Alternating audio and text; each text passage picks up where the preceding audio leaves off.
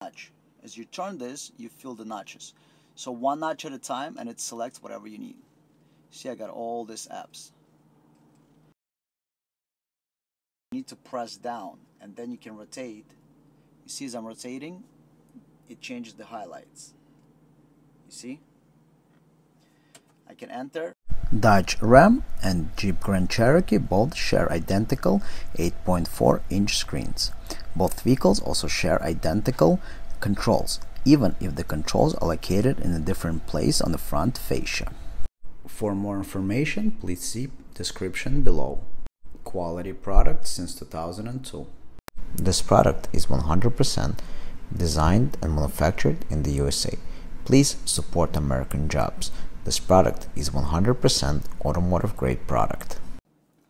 This video is for Chrysler, Dodge, Jeep, and Ram vehicles with 8.4 inch screen 2013 and up. They have new uconnect 8.4 inch so 2013 and up to 2019 2020 that have this control panel so it has the back button and tune but it must have 8.4 inch screen. We're gonna demo following product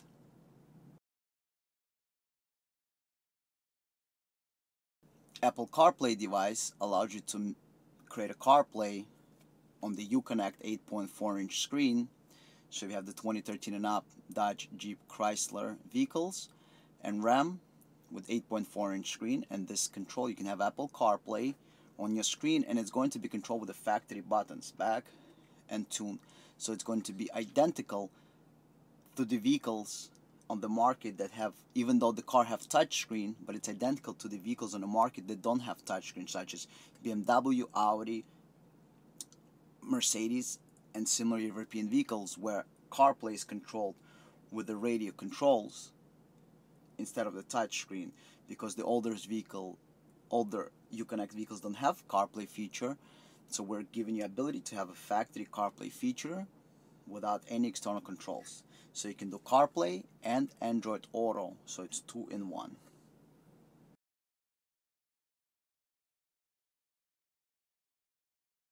we're going to show you a demo in a Jeep Grand Cherokee. However, any Chrysler, Dodge, Jeep or Ram with 8.4 inch screen would be identical installation. The only difference might be is the removal of the trim panel. After you remove the trim panel, the rest is identical. So the controls and the installation will be identical in all 8.4 inch screen, 2013 and up, Chrysler, Dodge, Jeep, and Ram vehicles. So your only difference might be the removal of this, we call it trim beautification panel. But the rest is identical to all Chrysler, Dodge, Jeep with 8.4 inch screen. So first step, we're gonna remove the trim panel to access the screen. To remove the screen in this particular car, you don't need any tools. You just start from the bottom and it's just a lot of clips but the whole panel just pulls out. So basically that's it. Your removal is done. There is a connector in the back which you can remove no problem. That's it. All you got is a lot of clips you don't have any screws so that took us what 10 seconds now you just need to remove this um, 8 millimeter, four 8 millimeter screws. Let's go ahead and remove the four 8 millimeter screws. Go ahead and remove these four screws.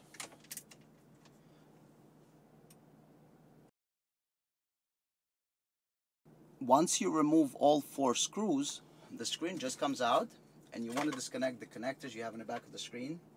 So just go ahead and remove all the connectors. They're all pretty much unclip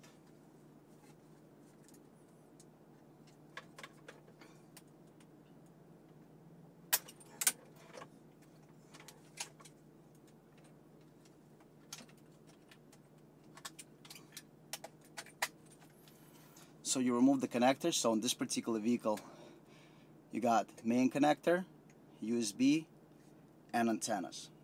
So there's your antennas. You got three antennas.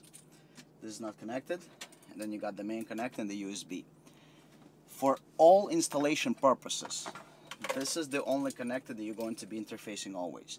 This is the main power connector you're going to be interfacing and plug it in your plug and play harness in here. So you plug in your plug and play harness in here, plug everything else in and close the car.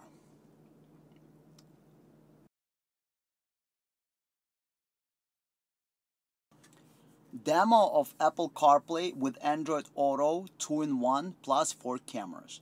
We're showing you everything Apple CarPlay and Android Auto and 4 cameras.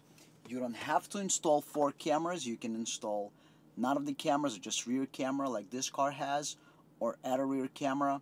We're going to show you all the options that are possible with this interface including video in motion for factory DVD player that this car has. Your car may have or don't have a DVD player but we're going to show you its capabilities. And if you don't have sound options you're not installing sound options it's totally fine. So let's start.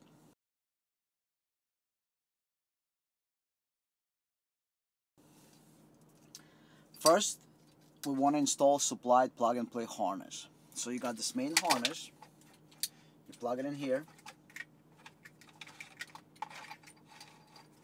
and you close it so this is going to go back into the screen. This is going to go into the harness that connects to the interface. You got audio RCAs. This is how audio from your CarPlay will get into the, or Android Auto will get into the radio system. So first we want to install the harness. If you're connecting any of the cameras, you want to run the cameras from the back.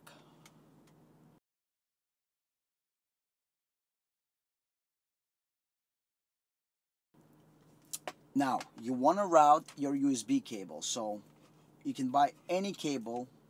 If you just install an Apple CarPlay or Android Auto, or it doesn't matter. See a long cable like this. You route the cable through inside of the dashboard into your armrest. You can route it anywhere.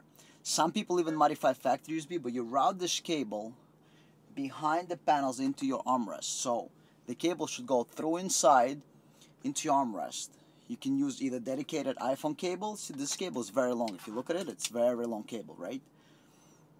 Or you can use a regular USB to USB and then plug in any phone you want. But the best location is nicely routed behind the panels into your armrest for factory look and feel. For Android Auto or Apple CarPlay, you also need a microphone. So we supply with a microphone like this. It clips on so let us show you. You can clip it onto the top. Let's move. So this is your headliner. You clip it on like this. Specific clip that is made so you can clip it on. And then after you clip it on, you just put it in here. And then the microphone, the way it stays is that you route the cables behind it, right? So when you route the cables, I'm going to show you with this white cable so it's better to see see the white cable it's easier to see you hide it inside your ceiling so basically everything is going to be hidden and your microphone is going to be only sitting like right here and you route it through the pillars and under the panel so only thing you're going to see is basically everything is hidden and it comes out over here so everything is going to come out basically right inside the dashboard so all the all the cameras come from behind the dashboard factory look and feel. Everything behind, so all your wires, so USB should be here, your microphone should be here. If you're running any cameras, they should be here too. So we got the main harness installed. Now we're gonna install the interface. Keep in mind you gotta program the interface. We're gonna show you how to program it. The programming process only takes two minutes. The entire process program it for Jeep Grand Cherokee or any car or Dodge or Chrysler or Ram, whatever you have, watch this two minute clip. Do not forget to program the interface. All interfaces are shipped blank as they need to be configured by the installer or end user. Programming process will take less than one minute and can be performed using Windows or Mac computer. Apple CarPlay update. The update process takes approximately two minutes. This is the software already open on the screen. Software is available for Windows and Mac based computers. Step 1, download the updater, it takes approximately 30 seconds. Step 2, open it, it takes 1 second. Step 3, get a cable. USB to micro USB. USB end, you're gonna connect it to the computer. Micro USB end, you're going to connect into the interface. Then install appropriate software. So just for the test purposes, we're going to install Jeep Wrangler and hit install. And the installation starts and the entire process is probably going to take right about 30 seconds. And then after it's installed, you basically do install it in the car. And don't forget to set your dip switches. In the video it's going to tell you whether they go go up or down. And the configuration entire configuration on Windows or Mac computer will take you no longer than two minutes. That's everything. That's downloading the software and installing. So installing the software. And then the last step is configuring which is self-explanatory. It's everything is in plain english right? We don't make it complicated. There's no learning curve to this. As you can see i hit search i hit install. It's only one button. So there is no learning curve to use this. It's basically all automated. It sits as 99% right now that's going to go away and it's going to say see device completed. Click close and then the camera settings you can update. Again this is all here in plain English. On the left hand side you adjust cameras that you want to install if you're installing any. On the right hand side you choose cameras that car is equipped with and then how do you want to operate? Again it's all in plain English. So if you're installing side cameras there are three ways to operate them. Manual manual with a speed check manual without speed check Everything is in plain English. Again, no learning curve. The whole update takes approximately one minute. You just have to tell the interface if you're going to install any aftermarket camera and you got to tell the interface if you have any of the factory cameras. You're completing your update and it took us about 2 minutes and 30 seconds for the entire process. Take it to the car and continue with the installation. Okay, now that you have programmed the interface, take your interface, you'll find two switches here. Both switches have to be set to on position. This is top, on is down. This is where the microphone plugs in. This is your top. Switches must be set down, okay? So you take the supplied harness that we gave you. We gave you this plug and play harness. You got five wires over here with the black heat shrink in the end. They're not used. Plug this in and then you got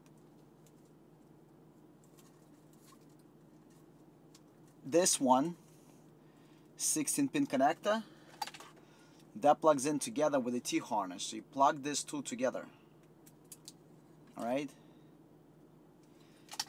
You also have two audio RCAs you see red and white. You need something like this.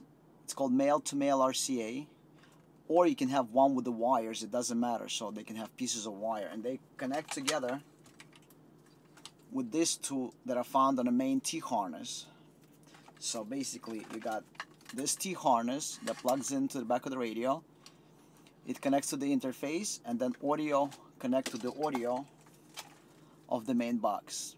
Alright with ignition on check that the LED is blinking. You got the green LED over here blinking this is your USB cable, so this is where you plug in your iPhone cable or Android cable or just USB. This is the programming port for the previous step. And we also adding camera. If you're not adding any camera, you have rear factory camera, you're done. But we're also adding cameras. Before you close everything, you want to test everything to make sure everything works. So we're going to connect cameras to this box. We got four RCAs right here we got left over at this five, five cables. They're not used. You got this cable. It's not used. And you got four camera inputs. You only they're all labeled. You only need front left and right cameras that we're installing. We're not installing anything else. So let's connect the cameras and start testing everything. We want to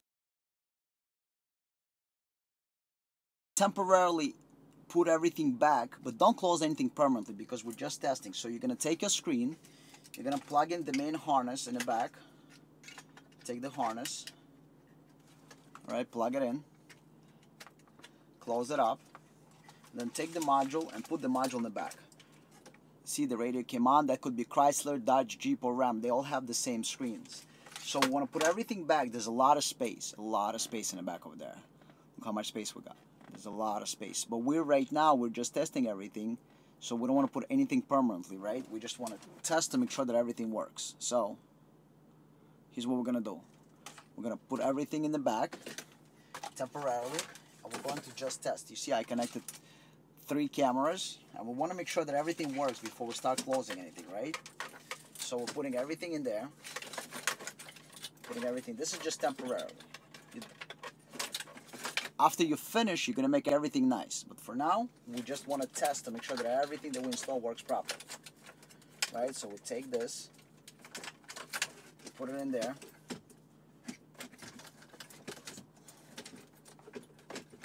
Alright, and we want to put the screw, want to put one screw in to make sure the screen stays so we can test everything.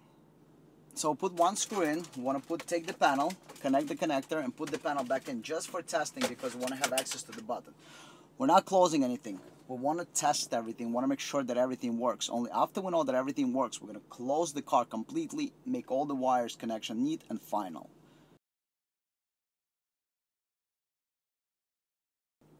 Set the radio to aux so you can hear the audio from your device. Then take your phone, plug it in.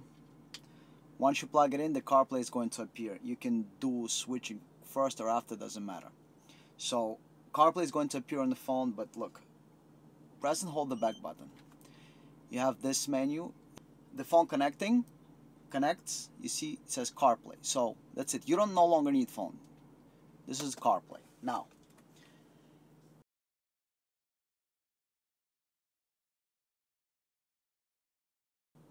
There are no touchscreen controls because this is a CarPlay add-on. However, we made controls identical to any European car.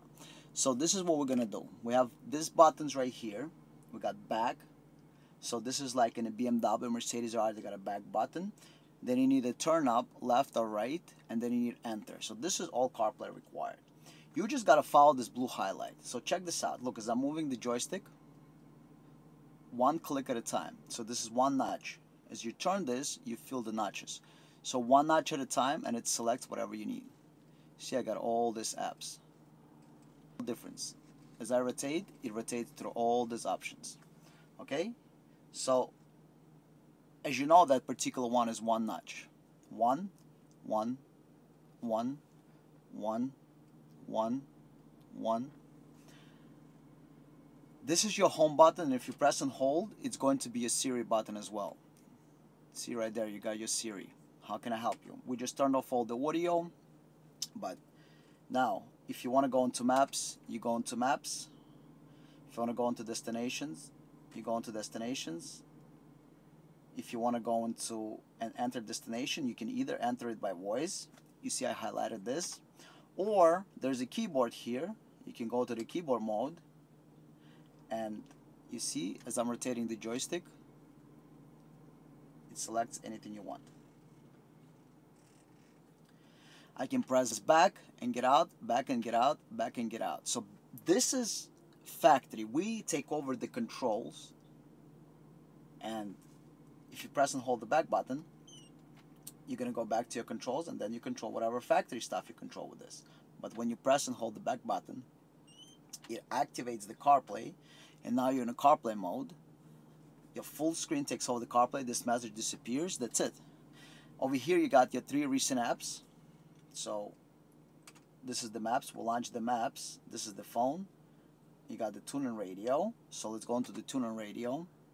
Obviously for copyright reasons we cannot play any audio, but we're gonna show you.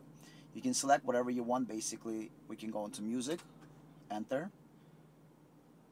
This is real CarPlay. So CarPlay is meant to work in two modes, touchscreen or joystick controls. Most European cars, BMW, Mercedes, Audi, VW, they don't have touchscreen, they have joysticks.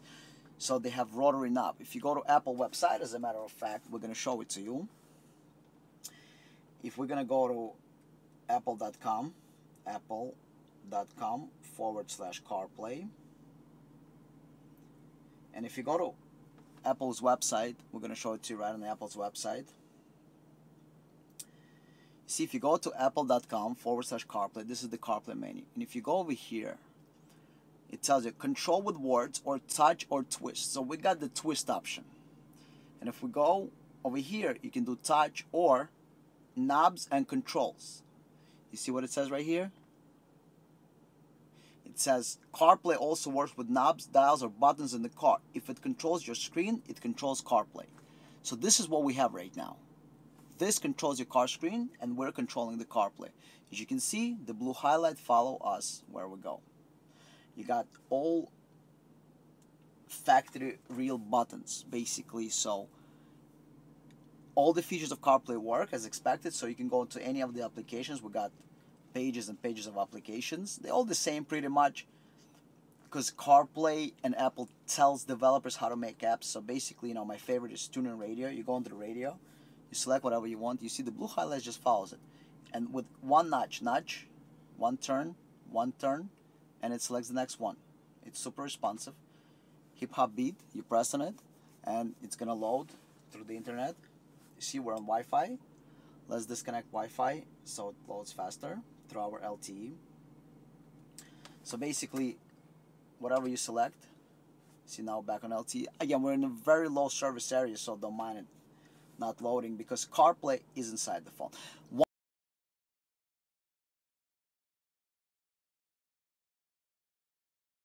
One very important thing to remember about CarPlay, very important. CarPlay only lives inside your phone.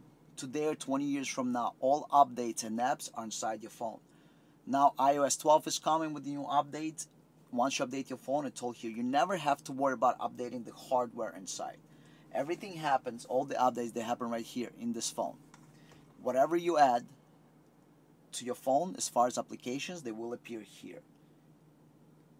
If Apple decides tomorrow to change something, it will appear here. Now, this is pause. Now you paused whatever is playing. This is play. We cannot play audio for copyright reasons, but you know, again, now the it's paused. It's playing actually. If I press enter, it's paused. I can go back while now is playing something. I can select 70s hits, party hits, US. Now, if I want to pause it, so now it's playing. This is pause, so I'm pausing it. If I want to get out, the music is going to play and I can enter maps or I can call somebody. I can do whatever I want basically. So let's see what happens if we call somebody. Let's connect another phone. And just to show you, it even works on older phone, this iPhone 5, CarPlay works. So different set of menus a little bit, and you can move those applications by the way. If you go into phone settings, if you have a lot of applications, and you go into the settings, and you go into general, and you go into CarPlay, and you can rearrange the apps the way you want. Look at the screen. Look, I'm gonna rearrange those two apps right now. Look what happens. You see they rearrange. Look, I'm gonna put maps first. Right there, maps first one. So basically, this is not some kind of mirroring. Real Apple CarPlay. If you want to go into and you want to call somebody, go into phone. Obviously, we, Siri requires internet connection to use, but we don't need the phone. So we just want to use keypad. And whatever number you dial, let's say 555 1 2 1 2. And the system is super responsive. And that's it. I can go ahead and I can rotate it and I can press call and it's gonna go, you know. So we got CarPlay. Then we're gonna connect Android Auto. Android Auto works a little bit different. We're gonna show it to you because it also uses these two buttons right here and uses this button. So we're gonna show you what it does. But CarPlay it's very easy. This is your left rotate, right rotate. As you can see, look. See we're in left rotate, right rotate. Enter this is to enter whatever menu you want to enter. So basically, if you enter music, it enters the music. This is back to get out, back, back. So same thing as any other car. Now, with Apple CarPlay demo. We're going to go ahead and connect Android and show you how the Android works.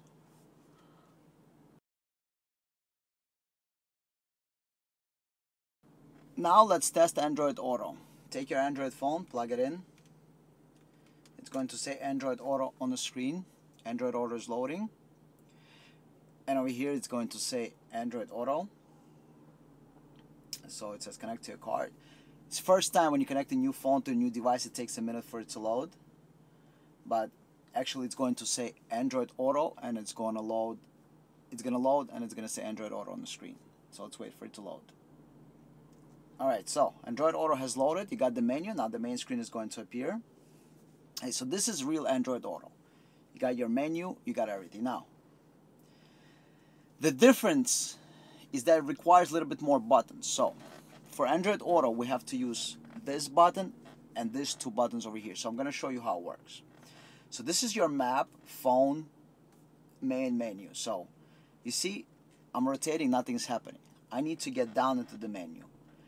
These buttons now act to get down. However, if you go back into factory stuff and you go into climate control, this is going to control the climate. You see I'm pressing, the climate is being controlled. But if I'm in CarPlay mode, I recommend doing a sync so you can control from this side. And when you go back into the CarPlay mode, if you hear any noise in the background, just leather. This menu, to get into this menu, you need to press down and then you can rotate. You see as I'm rotating, it changes the highlights. You see? Can enter. This is the music app. So whatever music apps you have, you click on enter and it's going to open up music apps. This phone doesn't have any music apps, but you can load whatever music apps you load and you're going to be able to play it from here. Now, if you want to go back, you press back, you see Google Play Music, it's actually loading, but it doesn't have any music on it. To play something, open menu on the left. You see, you need to open menu on the left. This button, screen off, opens that menu on the left. This is called the burger menu. You press this button and it opens up all the menus. So whatever app has this menu, whether it's Waze or Google Map or anything else, the screen off button opens that menu for you. So basically you press and see the menu is open. Now inside that menu, you can rotate again and go into any recent activity, playlist, podcast, up, up, up. Back goes back. In the menu, now I need to get back into this menu, right? So I want to go to navigation. I need to press down. So this is your up and down. You press down. It's not required for Apple CarPlay, but for Android Auto, not only we need to rotate, we need to go up and down. So basically you go into your maps and over here again we don't have any maps installed on this phone this is just a demo phone but but it opens up your maps and if you have Google Maps or Waze it will let you select both of the maps okay so we have your maps here. So basically if you want to change something you press this arrow down over here. So let's try to highlight. So this is your up down left right enter back and this is the menus that open up on the left hand side. So let's zoom in back into the screen. So if you want to go if you want to open up this menu over here you need to press screen off button right here and it opens up the menu. It opens and closes the menu and then if you want to enter this menu on the bottom you press this one and then you can rotate whatever you want here. Load the music app for example. And if you want to again open here you press screen off and it opens this menu. So basically you got the menu when you need to open up this is the button this is your back this is your rotation left right and this is to go up into the menu you see it right here. I'm now on this line and if I want to go back in here and do something I'm in here so basically this is your Android Auto.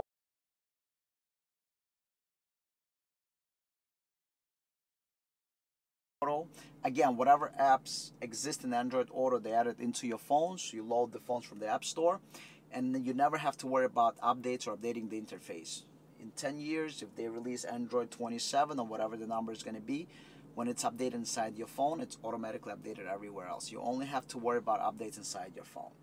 Now, let's continue to the other features.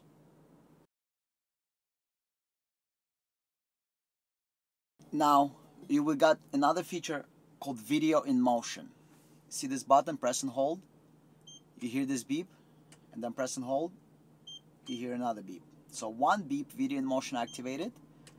Press and hold, two beeps, video in motion deactivated. This is for factory DVD and drive. So let's focus on this for one second. We're gonna load the movie and we're gonna check this out. Okay, so don't worry about the focus not clear here. We're focusing on the buttons right now. So we're gonna go ahead and load the movie. And as you know, once you start driving, the video would shut off. We give you that additional option. So if you have a factory DVD player and you want to use it while driving, so let's go into media. Let's go into DVD. Where's our video here? To disc. And now it's going to open up the movie. So you got the full screen here. So this is a preview of some movie or something. Now, as you may know that when you go into reverse, your rear camera appears factory as before. But as soon as I start to drive, my video would shut off. So let's start driving and watch that our video is going to stop playing because we have see the video is disabled function disabled while driving. Now here's what we're gonna do. We're gonna press this button and we're gonna hear one beep. Now you can press full screen. And now no matter what I do when I'm driving I will see my movie so, so now when I'm gonna go forward my movie plays and doesn't shut off anymore. So this is video in motion. This is the button that activates video in motion. Again, press and hold, two beeps video in motion disabled, press and hold, one beep enabled. However, keep in mind one thing that video in motion enables and disables when the video when you shut off the car. So this is video in motion.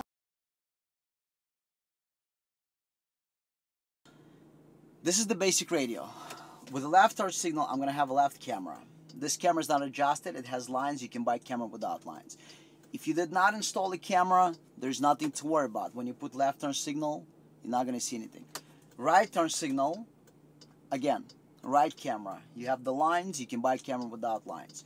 If you did not install a camera, again, nothing to worry about. Nothing is going to happen. In reverse, we got our factory camera. The factory camera pops up on the screen when the car is in reverse. And then in drive, you got your front camera. So let's look at it again. In reverse, you got the factory camera, and then drive, we got the front camera. Front camera shuts off automatically once the vehicle reaches the speed of 10 miles an hour. Watch this. You see, as soon as I reach speed of 10 miles an hour, it's off. That's it. Again, I'm parking slowly. You see, I'm backing up slowly. Then put the car in reverse in drive and I have front camera. Boom, the camera is off. Now, it's very important to understand one thing. That if you're driving really slow, the camera will stay on. It only shuts off after 10 miles an hour. So again, in reverse, rear camera. In drive, you got front camera. So I'm parking really slow. I can see the object. But once I speed up up to 10 miles an hour, that's it. The camera is off. That's about it. All the features, and again, if you're not installing one of those cameras, the images will not switch over. It will just continue to work. Thank you for watching. Please click the logo on the left hand side to subscribe to the channel. Subscriptions work on smartphones, tablets, and computers. Please like the video, please click the notification bell, and please leave a comment about this video. If you want to watch another video, please click the video on the right hand side.